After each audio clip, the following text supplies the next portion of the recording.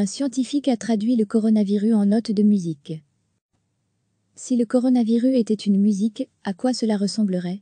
Vous pouvez maintenant répondre à cette question improbable grâce à des scientifiques qui ont retransmis la structure du virus en notes de musique.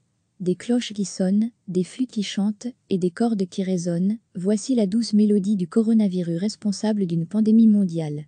Qui l'aurait cru que la structure de ce virus qui a déjà fait des milliers de morts à travers le monde aurait une mélodie si douce et apaisante? Pour arriver à ce résultat, Marcus Bullet, musicien et professeur du Massachusetts Institute of Technology, MI, a utilisé une nouvelle technique, la sonification.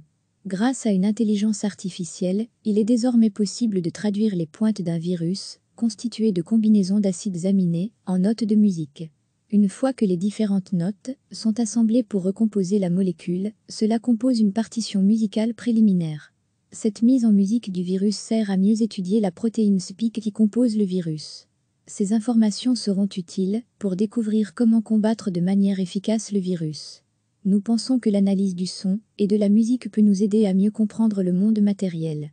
L'expression artistique n'est, après tout, qu'un modèle du monde en nous et autour de nous, explique le professeur Dumi.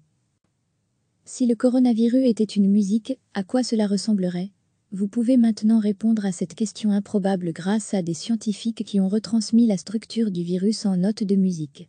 Des cloches qui sonnent, des flûtes qui chantent et des cordes qui résonnent, voici la douce mélodie du coronavirus responsable d'une pandémie mondiale. Qui l'aurait cru que la structure de ce virus qui a déjà fait des milliers de morts à travers le monde aurait une mélodie si douce et apaisante? Pour arriver à ce résultat, Marcus Bullet, musicien et professeur du Massachusetts Institute of Technology, MI, a utilisé une nouvelle technique, la sonification. Grâce à une intelligence artificielle, il est désormais possible de traduire les pointes d'un virus, constitué de combinaisons d'acides aminés, en notes de musique. Une fois que les différentes notes sont assemblées pour recomposer la molécule, cela compose une partition musicale préliminaire. Cette mise en musique du virus sert à mieux étudier la protéine SPIC qui compose le virus. Ces informations seront utiles pour découvrir comment combattre de manière efficace le virus. Nous pensons que l'analyse du son et de la musique peut nous aider à mieux comprendre le monde matériel.